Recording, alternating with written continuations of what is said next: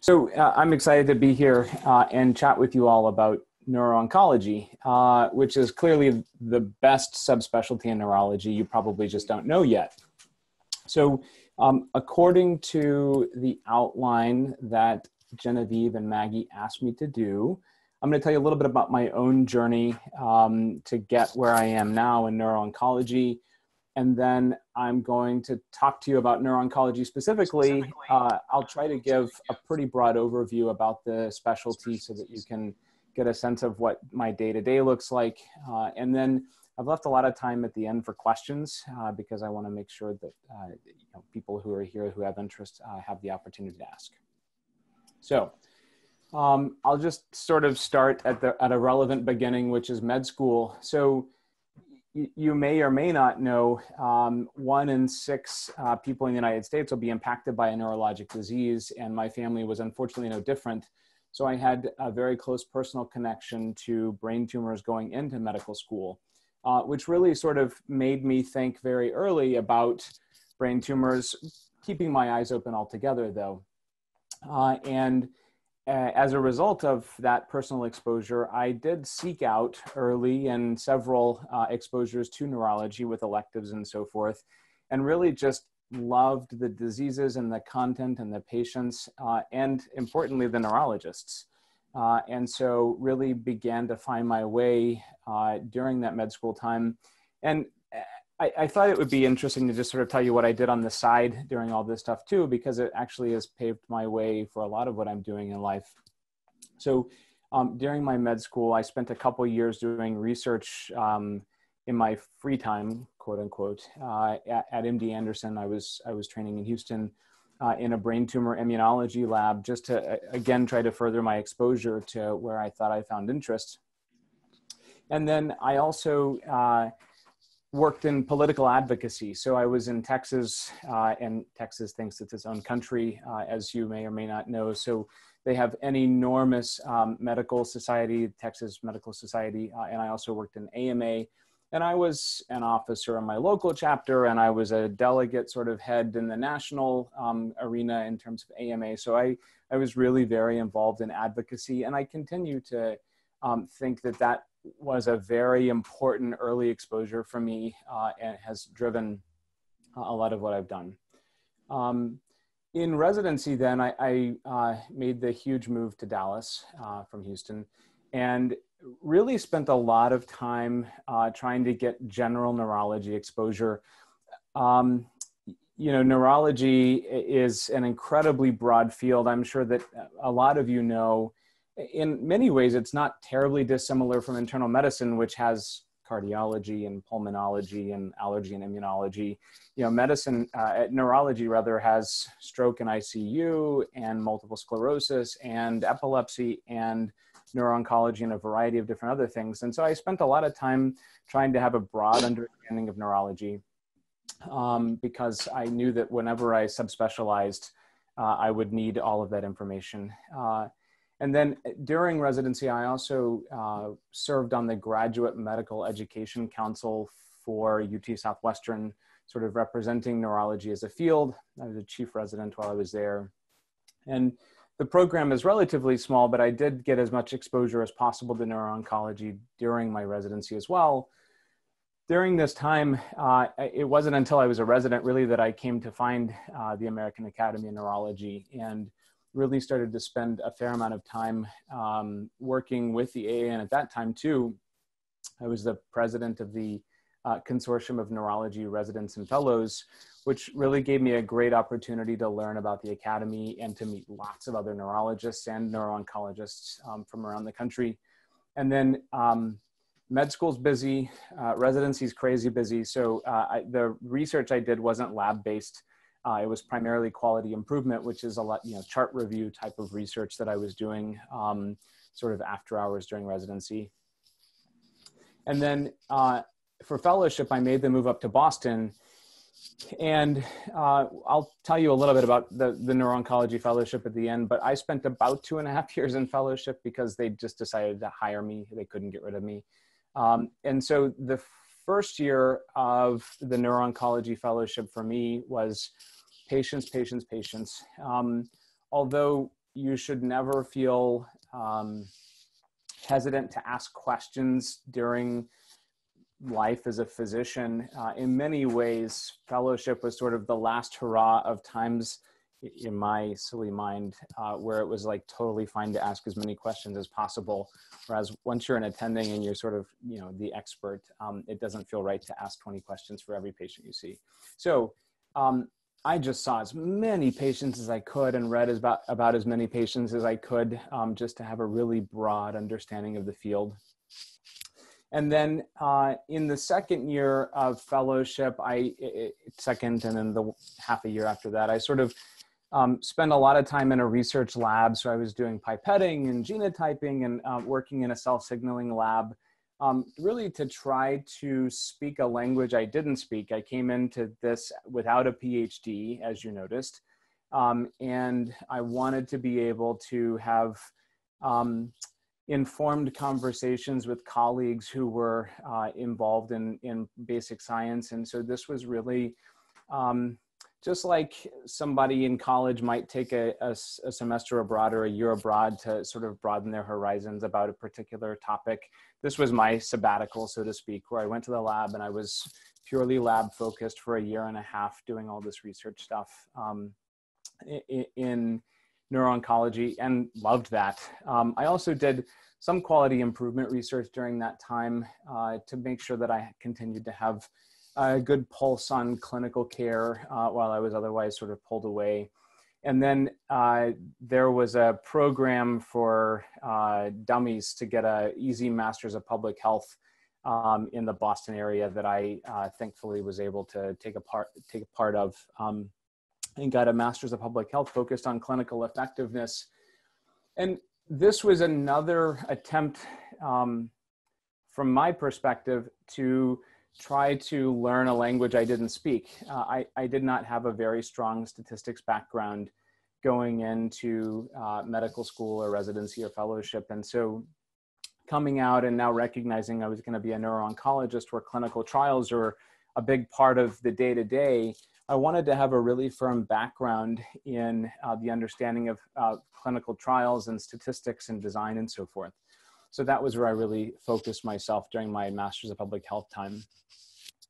In my um, free time during fellowship, uh, I did uh, increasing amounts of work with the American Academy of Neurology. I was on the graduate education subcommittee um, and then I began doing some work with the Society for Neuro-Oncology, which is uh, the subspecialty society uh, within the brain tumor world.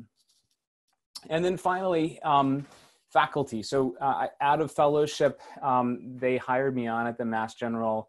Uh, I guess it's been about five and a half, six years um, at this point. And so I'll tell you a little bit about, I mean, I'm going to tell you a lot about neuro-oncology, but my day-to-day um, it, it feels like it's different from one week to the next. But in general, I would say I'm 40% patient care um, in my in my usual, and so that translates to something like um, eight hours of uh, clinic time per week. Uh, of course, that always has spillover and so forth, but just generally speaking, um, I continue to do a fair amount of research which is in large part collaborative. I'll talk about that in a moment. Um, I serve as both the clinical director for our 11 physician group. And so I do a lot of administrative work to make sure the trains run on time. Uh, and then I also serve as the overall director for our um, large neurofibromatosis clinic, which is the largest in the country. So there's a fair amount of uh, administrative work that goes into that as well. I do a lot of volunteering uh, with the American Academy of Neurology and others that I'll tell you a little bit about. And then teaching, of course, is a very important piece of my week. Um, I, it took me a lot to make this add up to 100% because sometimes it feels like it's more like 150% on a given week. Um, but quite honestly, every one of these buckets is fulfilling in, in a variety of ways.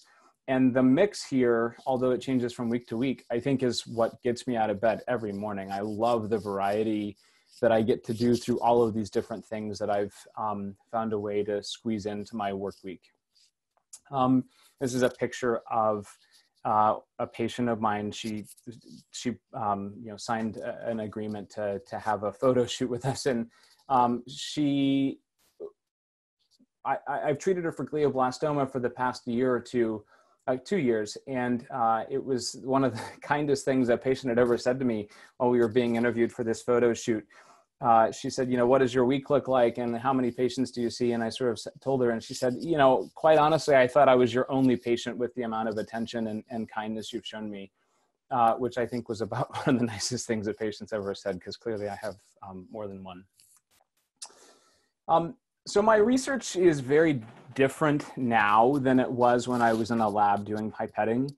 Uh, and uh, really, I love this. I love that I've found my way into something that is a very collaborative type of research. Um, I'll tell you, you know, when we talk more about neuro-oncology in a minute, I'll, you'll see similarly, I like teamwork, um, and that's what I'm doing in my day-to-day research life. Um, so I am the principal investigator currently on three therapeutic clinical trials for brain tumors, trying out new uh, chemotherapy agents for patients.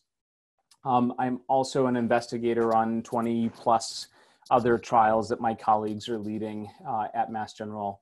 Um, I have really moved from being the guy in the lab with the pipette to um, the very close clinical collaborator for smart people in the lab with the pipettes. Um, and so uh, I'm currently on you know three R01s um, that colleagues have acquired through the NIH to help bring um, the really important clinical information to um, basic science labs. And so I'll just give you an off the top of my head example.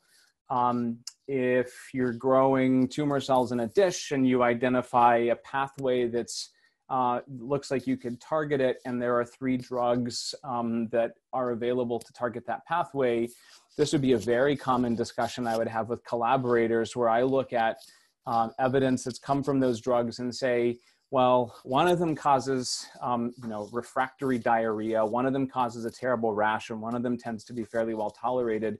Why don't we try the well tolerated one first? Um, and then we can circle back as we understand whether the effect of that drug is as much as we're looking for. Something along those lines. Uh, and I also um, think that in so many parts of neurology research, uh, you have to have tissue, you have to have blood, you have to have brain tissue and, and tumor tissue. Uh, and so um, you, uh, uh those are my patients. So basic scientists really do need a clinical collaborator who sees the patients to ask for the samples uh, and to develop that um, that rapport with the patients to say, yes, I'm willing to share, uh, you know, my tissue with you for research purposes. Um, I also am still involved in quality improvement research. And um, just to give you a sense of like a recent project we've done, we identified that there's a correlation between uh, the turnaround for a type of molecular testing we do and how patient, patients overall survival, meaning, you know, uh, if we wait around for that information, it impacts their survival. And so we've done uh, a lot of quality improvement work to um, try to increase the turnaround or decrease the turnaround time uh, and thereby improve survival for patients. So that's the type of research that I do. Uh, I'm involved both within my institution and in a couple national organizations uh, in guideline development to try to determine what is best practice for treatment of different neuro-oncologic diseases. And then uh, lastly, I do uh, a fair amount of neurology education and pipeline research uh, with the Academy of Neurology, um, which is uh, also a very fulfilling role that I do uh, across institutions trying to um, improve opportunities um, for neurology education and um, uh, make sure that we have a sufficiently filled neurology pipeline of future neurologists. Um, so I'm glad that you're all here for that.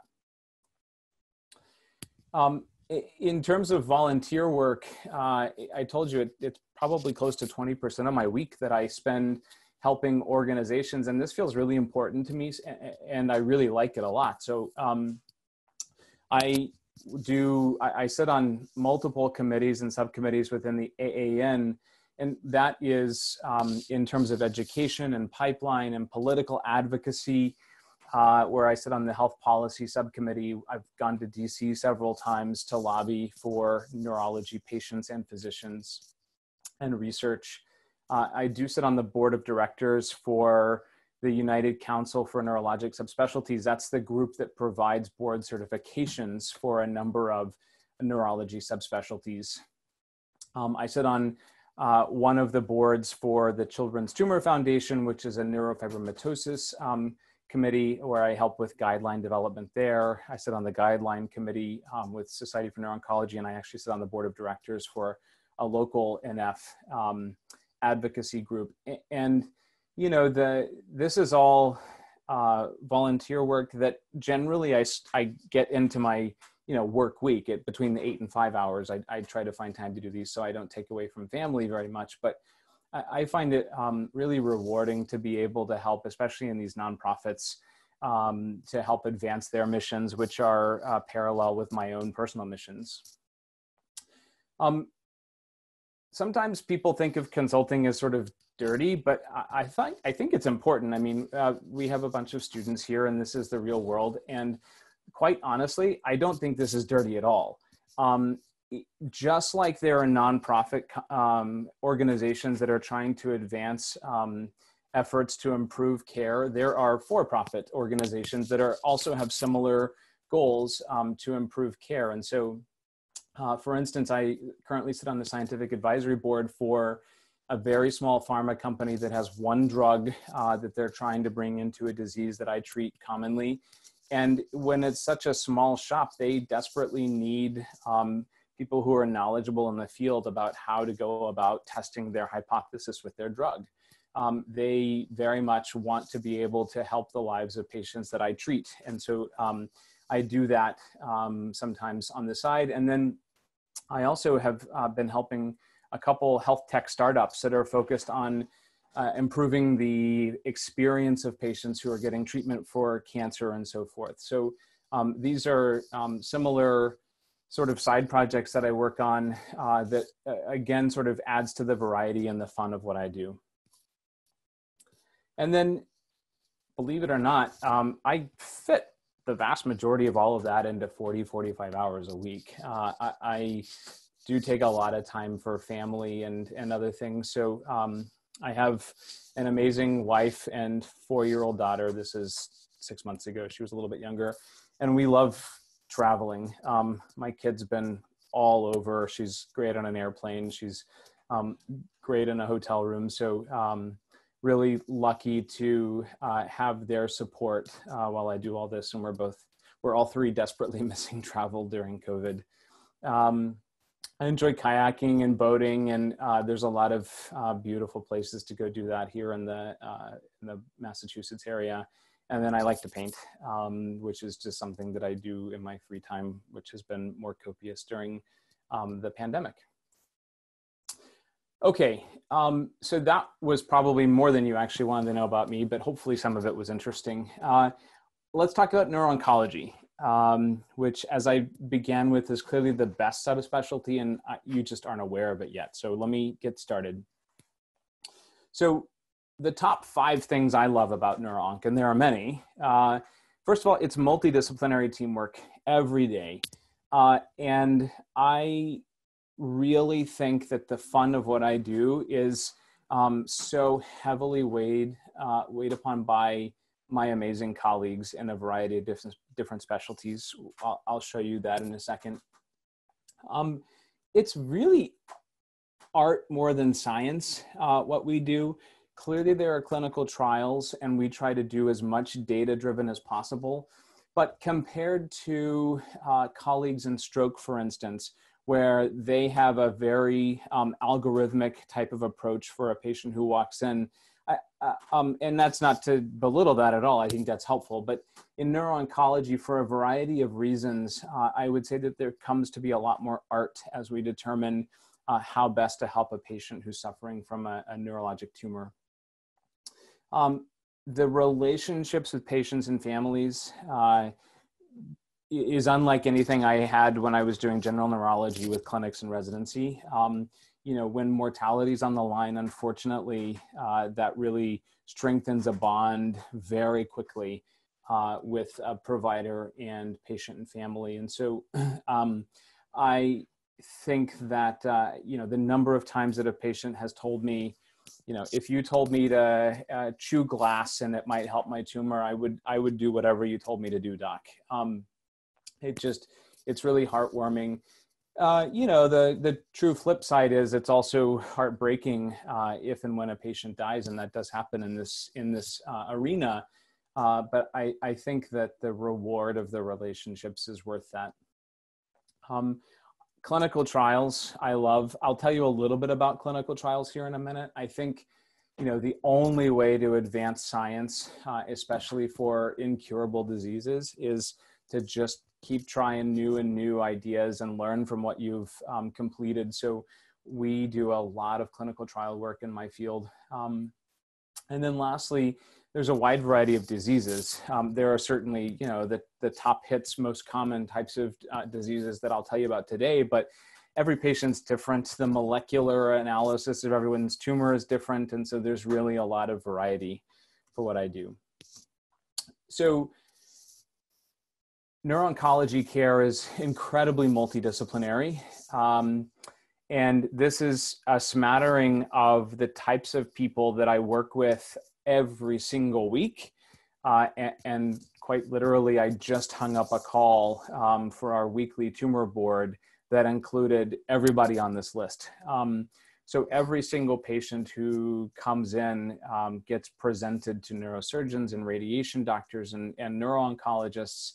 Uh, we often have early palliative care intervention depending on the patient and the situation.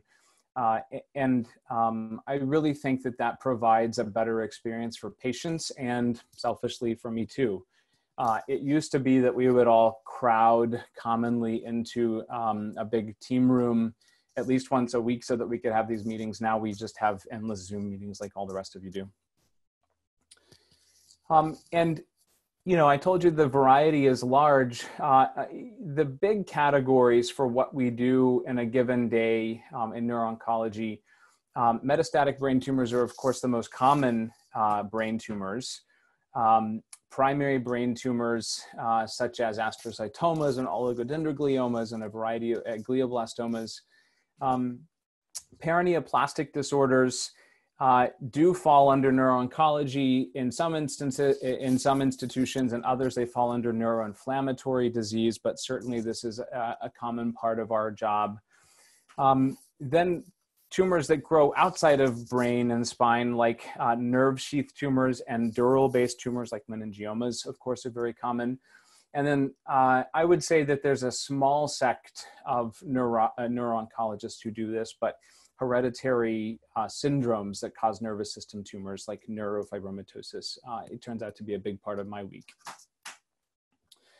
So one of the things that I really uh, also liked as I was looking across subspecialties in neurology and thinking about uh, what I liked is the, the truth is um, a neuro-oncology visit includes lots and lots of different subspecialties. Uh, and, and, so, uh, again, I'm going to pick on my stroke friends, and I mean no disrespect, but you know, when you're in a stroke clinic visit, you know, you're going to check on your antiplatelet or your, um, you know, make sure that your risk factors with cholesterol and blood pressure and so forth are handled, and then you're sort of done. In a brain tumor visit, um, you know, I'm going to make sure we give you your next cycle of chemotherapy. We're going to address the constipation and nausea that we gave you with the chemotherapy. Maybe your blood counts were low uh, we're going to talk about the fatigue that's associated with your cancer, and I might treat you for that with modafinil or Ritalin or something. Um, good chance you have seizures, so I'll be titrating your anti-epileptics. Good chance you have headaches, and so I'll be titrating your anti-headache medicines. Uh, for some of the diseases we treat, um, there are neuropathies, including chemotherapy-induced neuropathies, and so I'll be working on the medication to impact your, uh, to reduce your nervous system pain. Um, of course, in the big picture, everyone's coping with a, a tremendous, uh, tremendously difficult disease, and so uh, we do a lot of coping and ther- and therapy um, oversells what I'm actually able to do. But you know, certainly we talk about um, all of those important overarching topics. I take every opportunity with a patient visit to do some education about their disease, about the research that's going on in their disease, to bring them hope Uh, and then anytime that there's a research opportunity, whether it's a, a therapeutic clinical trial, um, contributing their existing tumor tissue to a research study that's going on or anything else like that, um, we talk about those. So you can see that a, a single visit in the neuro-oncology space covers a huge amount of uh, of neurology in general. So I really like that. I get to feel like a neurologist, even though I'm I'm a um, very subspecialized uh, neurologist. And what that translates to uh, is this sort of Rorschach of um, specialties where within neurology, I feel like I'm doing a whole heck of a lot of these things. I talk routinely about uh, neuroinflammatory, the edema in the head, and the dexamethasone dosing, and the various things we do for that. I, eye exam is very important for us when we're thinking about people who have leptomeningeal disease and the cranial nerves being involved.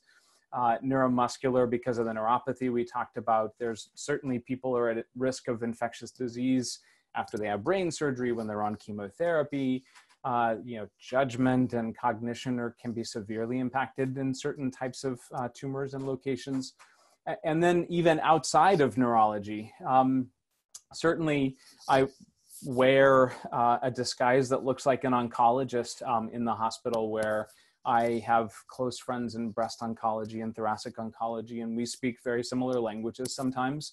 Uh, I, genetics, especially in my neurofibromatosis role, uh, I do a lot of counseling in terms of genetics and family planning and so forth in my clinic, uh, palliative medicine, you name it. Um, I really think neuro-oncology's got it.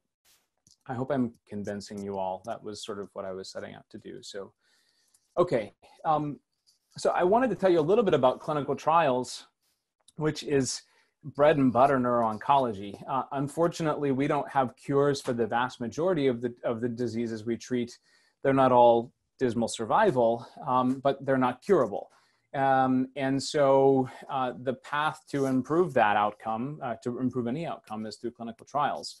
And I suspect that many of you may be like me when I was in med school, where I didn't really know much about clinical trials other than they test whether drugs work or not. So I just thought I'd spend two minutes talking about that.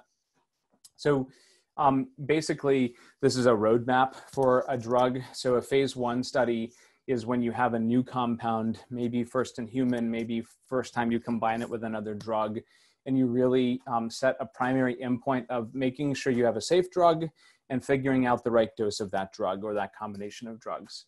Um, and so generally, phase ones are done with extremely small numbers of patients um, because if you're truly just looking to understand safety and dosing, you don't need to expose a whole heck of a lot of a patients to a drug that may or may not work. Um, and this study is not designed to determine that.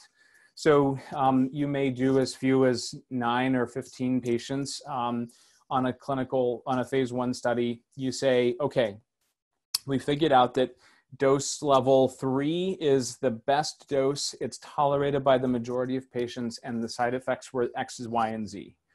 And then um, you do look as a secondary outcome at how people did.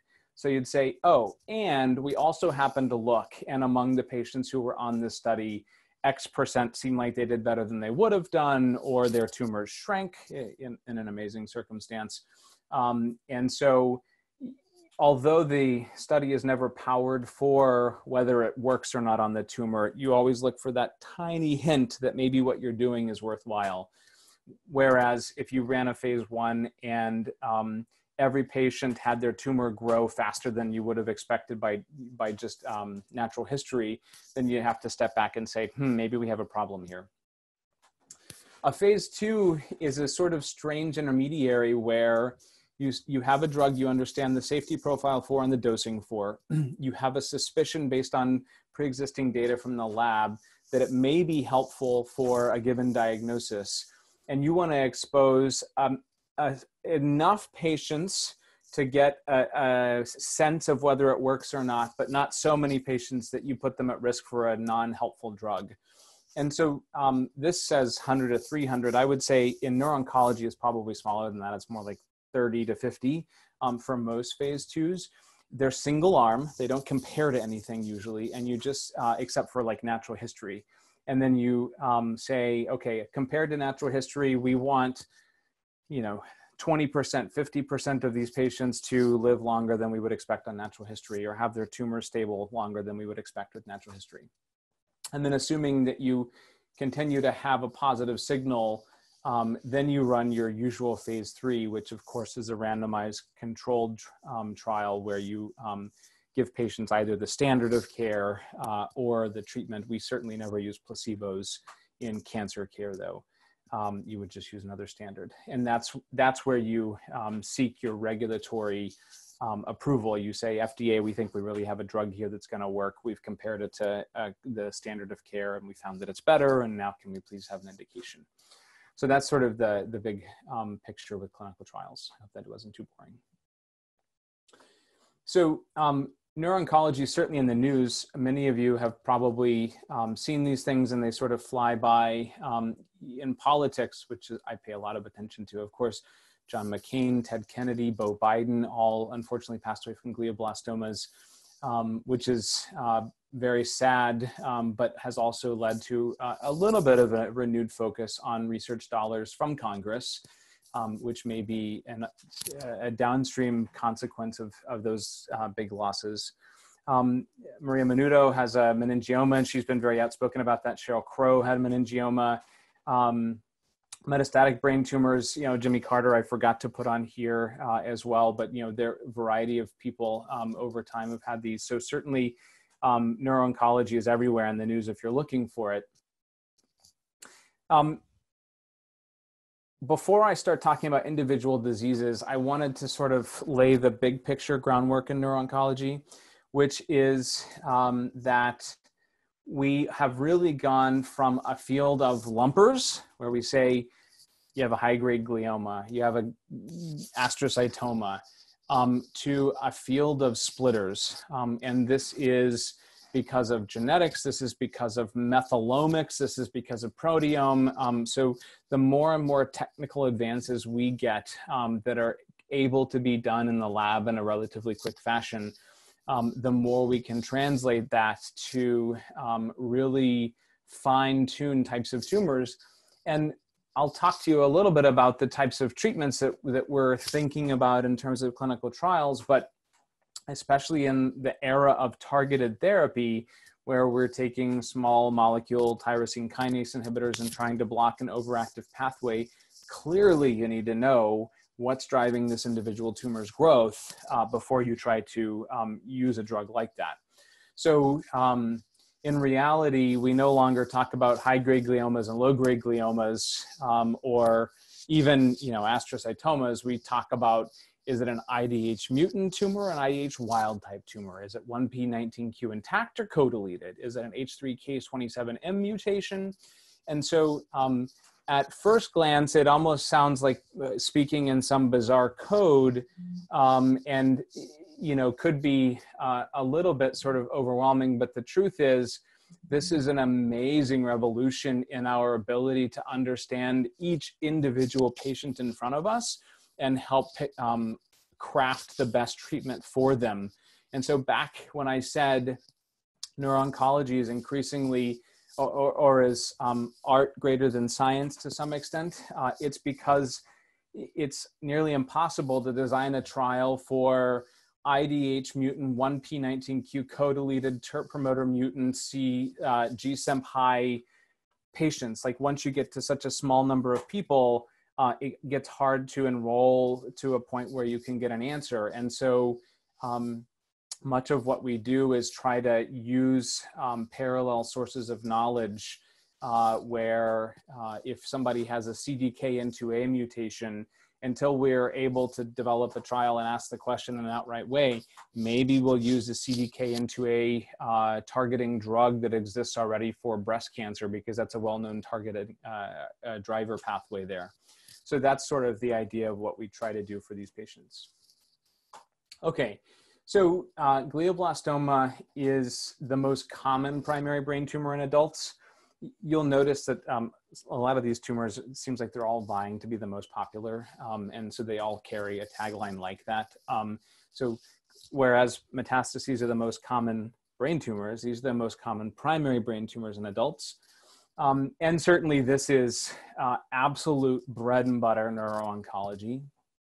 Um, unfortunately, these are also very aggressive, terminal, um, incurable diseases. And so uh, while this is bread and butter, these are, these are the particularly tough ones. Um, when, when a, run-of-the-mill IDH wild-type glioblastoma um, is diagnosed. And so when we treat these, um, we always uh, work with our neurosurgical colleagues and try to operate and remove as much tumor as possible before we begin treatment. Um, and then we use a combination of radiation and chemotherapy. I don't know if you've ever seen how cranial radiation is given, uh, but because of the importance of, of providing radiation um, only to the area where you want it and sparing the healthy brain, um, they make a mask for every patient that fits their head, connects to the machine, holds them in place, and then they deliver the radiation externally. Um, so we combine radiation and chemotherapy. There's also this device that's newly FDA approved for glioblastomas called the Optune device. Happy to debate the science about that on the side. I wouldn't say it's a home run, um, but uh, it, it's the first in its kind, first of its kind in terms of uh, an externally worn device um, for this tumor. Um, and then in terms of chemo strategies, there's a whole host of things that we think about. So I would say standard of care um, that you get at any place, uh, USA or any place in the world, um, probably focuses primarily on a cytotoxic, cytotoxic agent with temozolomide. Um, this is uh, the current standard of care that was published, unfortunately, 15 years ago, um, highlighting the fact that a whole lot of advances haven't been made in terms of um, treatment here. Uh, and so I would say cytotoxic chemotherapies, which are alkylating uh, nitrosoureas, are uh, by far the most common that we um, prescribe in our clinic. But increasingly, we try to use targeted therapies, um, either targeting a genetic or a pathway alteration. So, uh, for instance, I had a patient last week who falls into the 2% of glioblastomas that have a BRAF mutation, um, and BRAF happens to have very, it happens to be very targetable. Um, there are melanoma approved drugs that uh, hit that exact mutation and can shrink tumors. And so, uh, although no glioblastoma is good, we were just so relieved to see that he had that mutation for which we have a nice targeted therapy. Um, we use MEK inhibitors, we use EGFR inhibitors, CDKN2A I told you about. So a variety of targeted um, therapies based on molecular profiling of tumors that we're doing. Uh, we will use biologics, um, which is primarily antibodies. Um, certainly a VEGF inhibitor is the most common that we use. The, the uh, most common of those is bevacizumab. Um, the idea for that is that it uh, actually normalizes the abnormal blood vessels in a brain tumor and reduces swelling and inflammation and so forth. Um, and we have used some biologics uh, to try to kill tumor cells as well, such as with antibody drug conjugates. So you take an antibody on the end, you tack on a little cytotoxic um, molecule, and then hopefully that goes to a cell that it's targeting and gets um, taken into the cell and kills the cell. And then uh, lastly, the, the whole world of um, oncology, if you follow those sorts of things, is really uh, turning toward immunotherapy and neuro-oncology is no different.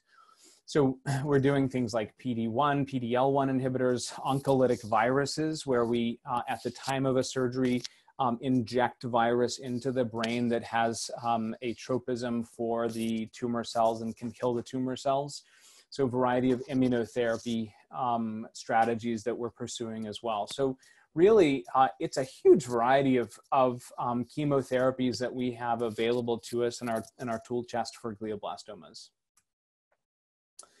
Um, lower grade gliomas uh, account for a significant proportion of the population that we see in our clinic.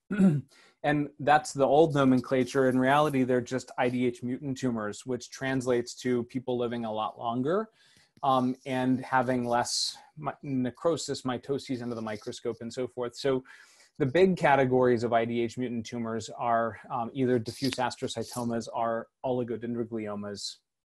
Uh, these, uh, on average, are diagnosed at a younger age. They have um, longer survival than, than glioblastoma, but unfortunately do remain uh, incurable today.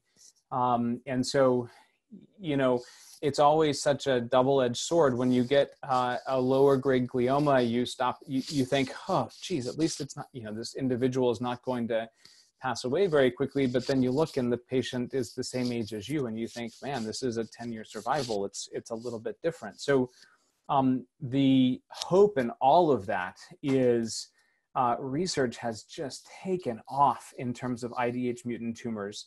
Um, there are a, a, handful of IDH inhibitors now uh, that we are using in clinical trials that have really begun to revolutionize the field. And so when I have newly diagnosed patients now with a tumor that would previously have had a 10 year survival, I say, you know, here's the data we have today that says it's likely a 10 year survival. But the reality is that the survival is probably increasing every year as we get through these clinical trials. So once we get to 10 years, it's I have no doubt in my mind that we'll have lots of new options available um, to keep you alive longer. Um, and then uh, the other piece of lower grade gliomas, whereas the survival is longer, um, there's a lot of survivorship um, considerations. And so these people will have had radiation um, with potential consequences as a result and chemotherapy with neuropathy as a result they have family planning and maybe they were uh, maybe their fertility was impacted by chemotherapy and so you planned ahead for that so there's a variety of additional things you get to think about as you work with these people over years and years and years Meningiomas, uh, again, vying for some uh, for a superlative here. Most common intracranial tumor uh, in adults. You'll notice that it's not a brain tumor because it does sit outside the brain, of course. Um, this is incredibly common. I, I mean, um, among all of you on the call, you know, probably three of your grandparents have one, and they're completely benign um, for the vast majority of people and indolent. Um, and so this 2% incidence in the population that we talk about is based on autopsy studies. So people who die of infections and heart attacks and strokes, and we do an autopsy and we say, oh, that person had a meningioma, they didn't know. Um, when people find their way into our clinic, um, clearly it, some of them are incidental findings, but increasingly, uh, they, you know, they may have symptoms. So like this person here who probably has left leg weakness and maybe left leg seizures. Uh, and so uh, that's when we begin to think about how to, should we and how do we treat. I will say, um, for an asymptomatic incidental finding, though, the, the preferred treatment is still observe uh, because the, the vast majority of these are benign and, and may not cause any problems.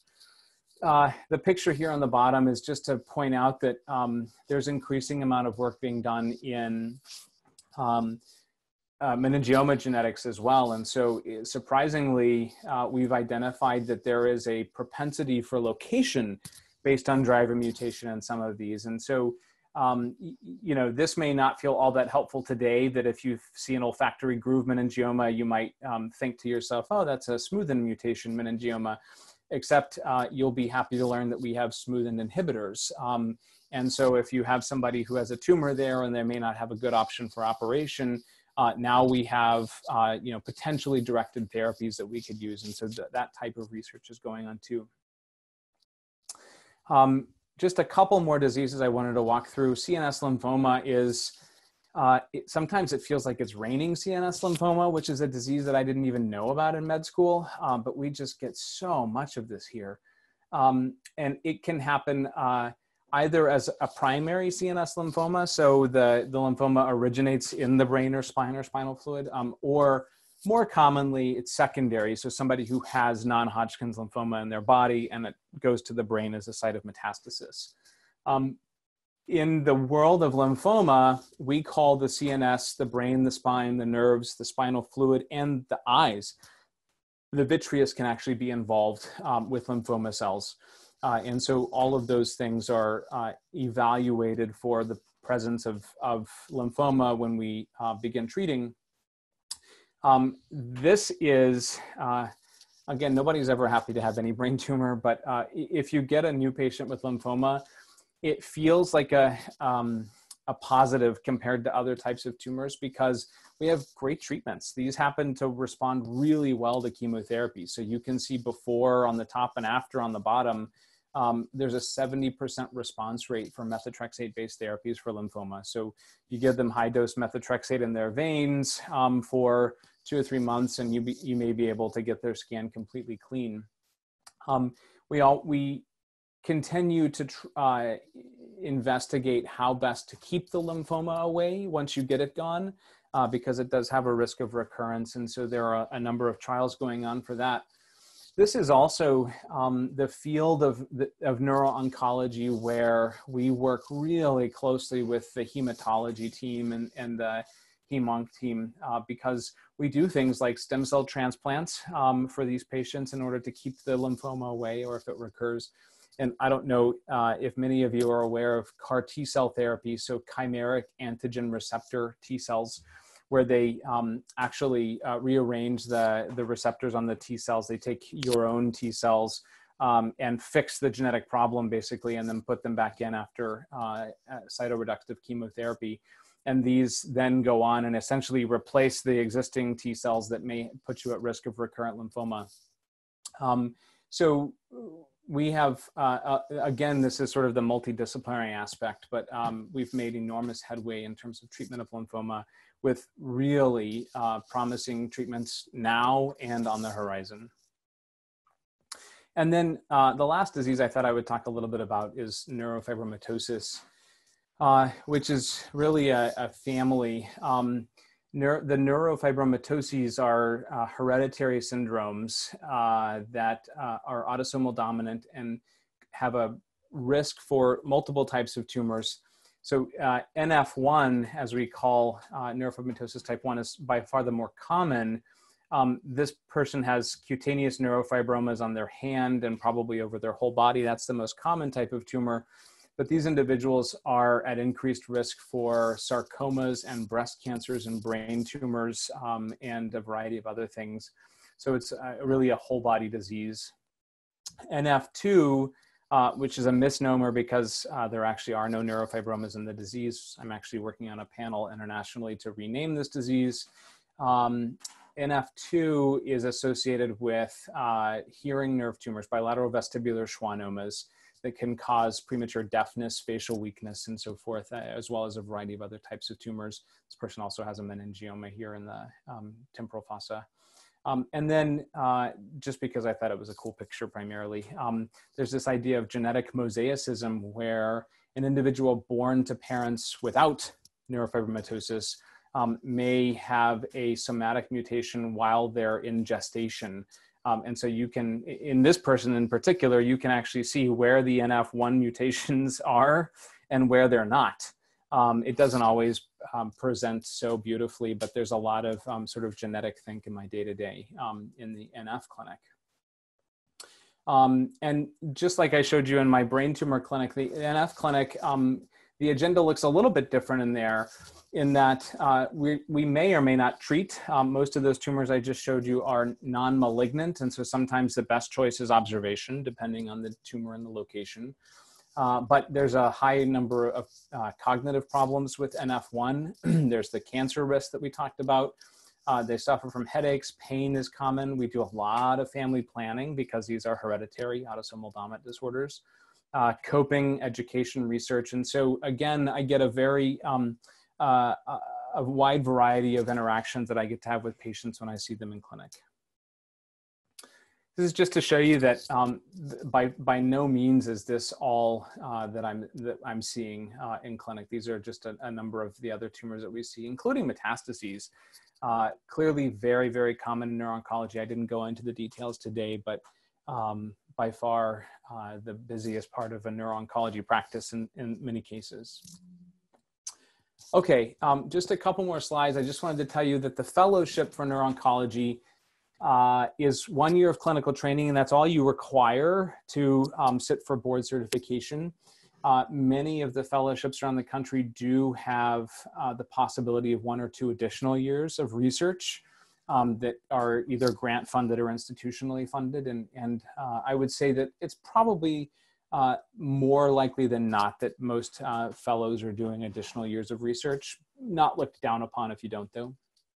Um, neuro-oncology fellowship is unique in that most patients, uh, most uh, trainees coming through a neurologist, but we do occasionally have a medical oncologist who's already done medicine, already done oncology, and then wants to do a fellowship in neuro-oncology specifically. Um, there is a board certification, and I failed to mention that there's also a match. Uh, for the last two years, we've had a match uh, for neuro-oncology. So um, that's all I had, uh, and I hope that there's some time for questions here. Um, it looks like there's some in the chat, perhaps.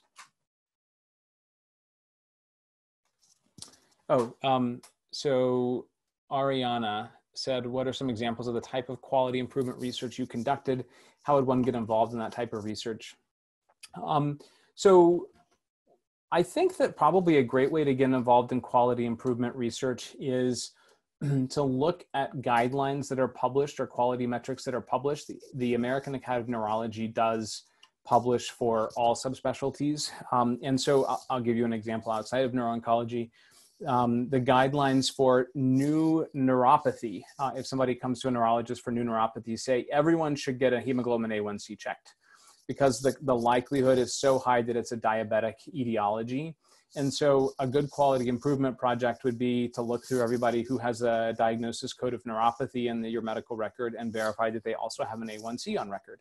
Um, and if not, it's already published that that's that that is the best type of care you can give to a patient with neuropathy um, and so you could then do a project locally to try to increase the number of patients the proportion of patients who are getting that test that that's sort of an off the top um, example um, Roxana said, how do you transition from basic science research to clinical trial research? Did you seek out additional training as part of your transition?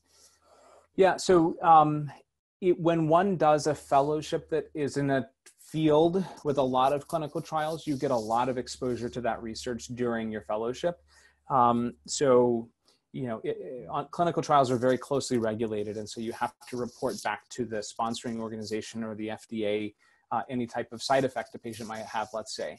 And so fellows, um, just like med students and residents, are very involved in taking phone calls and overnight calls. And so if a patient calls and says, I have a bloody nose, uh, and I'm taking a clinical trial medication. Then the fellows get trained and they learn how to, you know, do the appropriate reporting to the appropriate people. That's sort of the earliest exposure. And then we, you know, you have a, a fellow who says, you know, I might like to um, write clinical trials in the future. And, uh, you know, at most organizations, if trials are happening, you say like, oh, great, I happen to be writing a protocol right now about a new drug. Would you like to help me with that? And we can um, sort of go through that together. My MPH also included um, a couple classes on clinical trial design, but I do not think that that's uh, an absolutely necessary piece if that's uh, if you want to be involved in clinical research. Um, and how does compensation work for the R01s or your clinical collaborator, as well as the clinical trials your principal investigator for? How much does your consult? Okay, um, so I should say that uh, there are incredibly strict rules for consulting and for uh, all of these things. So consulting is completely separate. I don't represent the institution. I don't represent AAN. I, am Justin Jordan as an individual, and I give opinions um, to these, uh, you know, the health tech startups and so forth. That's all. That's all outside of work. Um, R01s. Um, basically, I get a small uh, stipend uh, of salary support. So when you tell the NIH, um, you know, your budget, you say that Dr. Jordan is going to give us 2.5% uh, of every week for the next five years. Um, and these are the things that he's going to do with a statement of work. And it's, you know, collect tissues, educate patients, get clinical corollary information. Um, and then the hospital receives that money from the NIH and they apply it to my salary. Uh, Priya says, what are your thoughts on going into neuro-oncology from an oncology track versus a neurology track? Um, it's a loaded question, Priya. Are you already an oncologist? um, assuming not. Uh, I, I showed you the list of what I accomplish in every neuro-oncology visit, which in addition to prescribing chemotherapy includes control of seizures and headaches and neuropathy and so forth. I think that um, the knowledge I came with neurology uh, into this field is enormously beneficial for my patients. I clearly a medical oncologist can learn those things, but I I think that the ability to localize and to just know um, seizure medicines like the back of your hand and their interactions like you learn at 2 a.m. as a neurology resident uh, is just uh, unbelievably important. Um, but uh, admittedly, my medical oncology trained neuro-oncology colleagues uh, have a much better handle when we come into side effects of uh, hematologic toxicity and so forth. So there are certainly benefits to both. I'm happy I came the way I came. Dr. Jordan. Hi. Hey, Kristen. Um, I was wondering, you talked about how you did an MPH for like, and you got more comfortable with like statistics. Um, would you suggest as like as a third year medical student that we seek out those opportunities? And then like also you said you had an extra year to be more comfortable with bench research. Would you recommend doing a PhD? Like what kind of would you recommend just doing it the way you did it, kind of after, or if you had been a third year medical student and knew you wanted to do neuro oncology, would you have changed course? Yeah, it's a great question. I mean, I, I, think by the time I was a third year med student, I probably mostly knew. Uh, and I had similar discussions with the PI I was working with at MD Anderson about, you know, should I just do a PhD at the same time? Um, she was at MD only um, and was doing amazingly well running a basic science lab with R01s. I'm not doing all of that, but I feel very comfortable as an MD um, doing the collaborative research I'm doing. I don't think that giving an additional three to five years for a PhD is necessary. Um, certainly, it comes with benefits. Um, certainly, street cred first, um, which is important. Uh, uh, knowledge about all the techniques that I didn't do during my one year of time in the lab. You know, I, I couldn't tell you how to run an ELISA with experience and how to troubleshoot one. I can tell you how to troubleshoot westerns and um, sequencing and so forth because I did that. And I think when you get into um, studying the veracity of data, understanding what can go wrong and will go wrong and how to fix it is important. So I think it just matters. Uh, I think it's so hard to plan now for 10 years from now. I realize that. Um, unless you really see yourself as an 80% bench person, 20% lab, where you think that you know your salary is going to come from the NIH primarily, and you want to have five technicians working under you in the lab. Uh, unless you're there, I don't know that an, a PhD is a necessary um, tack on at this point. Um, the MPH uh, was also incredibly helpful. I, I'm going to say something that's a little controversial. I don't know that I would spend money on it. Um, meaning like if you can find a program that will pay for it for you and you have the time in your life to do it, then that's great. But if you're going to shell out $90,000 to go um, for an additional 18 months of training to be more comfortable with statistics and clinical trials, there are probably other ways to accomplish that. It just so happens that my, my um, university and, and the grant I was on paid for the, the study for me, uh, which I am incredibly grateful for. I mean, I did learn an enormous amount, but I, I don't know that it's a necessary expense to incur.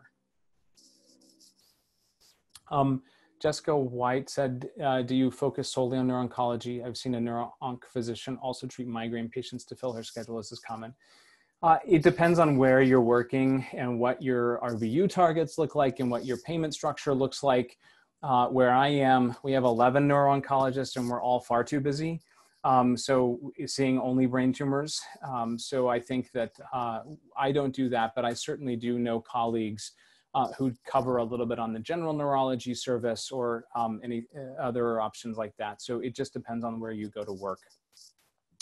Um, Marion started med school this year, uh, kind of young. I'm already in a neurology research group. What would you recommend me doing during uh, all my student time if I'd like to be a neuro-oncologist? Um, I think it's a balance. I mean, I think uh, in, in, general, you want to keep your exposure broad um, so that you make sure that you you know it's really what you want to do. But um, probably meet a neuro-oncologist wherever you are and see if there's a research project you could contribute to, um, even if it's just chart reviews or a literature review. Um, trying to build up um, the knowledge and the connections and your CV to, to demonstrate that interest it's not an absolutely necessary thing. If somebody decides uh, at the end of their third year of residency they want to do neuro-oncology, they're also more than welcome to do so. Uh, but if you feel that early, um, Marion, that you strongly want to become a neuro-oncologist, I, I would suggest um, trying to put those things on your CV if you can identify mentors that would help you with that.